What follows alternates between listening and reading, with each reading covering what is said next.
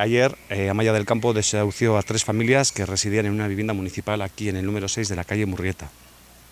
Recibieron el aviso de que iban a ser desahuciados a las 11 de la noche del martes y diciéndoles que debían abandonar la vivienda a las 11 del miércoles, con premeditación, nocturnidad y alevosía.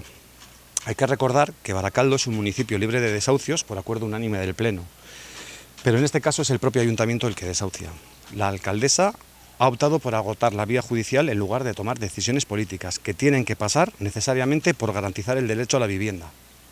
En diez meses no ha movido un solo dedo para buscar una solución habitacional. Para Euskal Herria Bildu es motivo de tranquilidad que una de las familias haya sido realojada, aunque nos preocupa que dos de las personas que vivían en Murrieta se hayan quedado al raso por decisión de Amaya del Campo. El ayuntamiento solo ha ofrecido dinero, como viene haciendo de manera recurrente, pero no se han molestado en intermediar para facilitar a estas personas el acceso a una vivienda.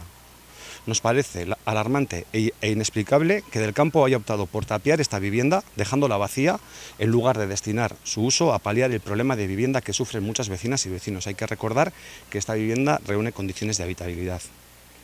Creemos que esta no es la vía. Mientras el PNV no se tome en serio la problemática de la vivienda, flaco favor estamos haciendo a la búsqueda de una solución.